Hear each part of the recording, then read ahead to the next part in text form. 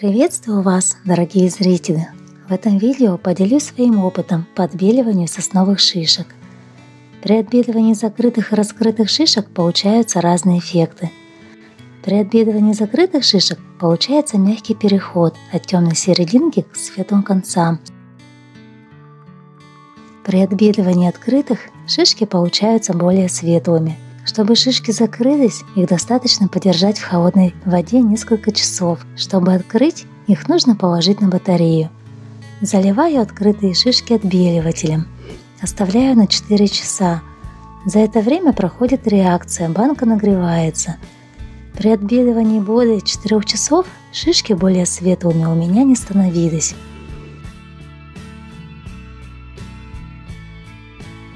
Отбеленные шишки можно тонировать. Мои эксперименты продолжаются. В следующем видео расскажу о результатах. Через 4 часа сливаю раствор. Запаха хлорки практически нет. Часть шишек отправляю на батарею. Через несколько часов они высохнут и раскроются.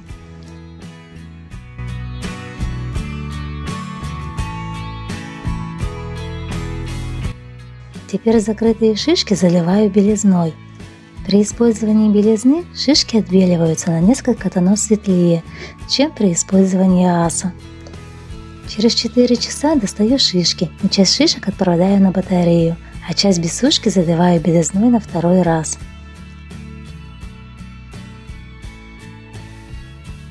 Шишки, отбеленные дважды, снаружи стали очень белые,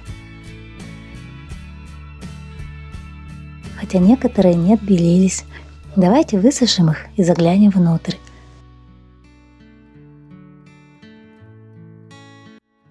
Высушенные шишки, отбеленные один раз, также заливаю отбеливателем повторно.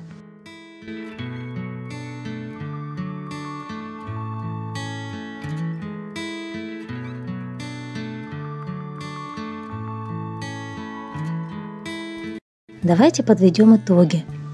В нижнем ряду шишки отбелены один раз, в верхнем ряду шишки отбелены два раза. Слева отбеленная закрытая шишка, справа открытая шишка. Здесь разница очевидна.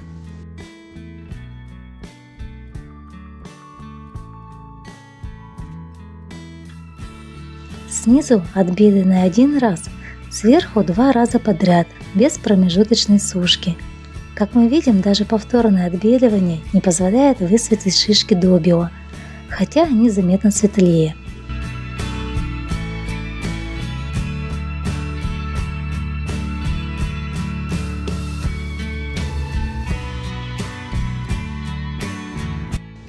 А вот самые бедненькие шишечки получены двойным отбеливателем с промежуточной сушкой, но почему-то они сменили и форму, получились полуоткрытыми – Надеюсь, мои эксперименты помогут вам сделать красивый декор своими руками.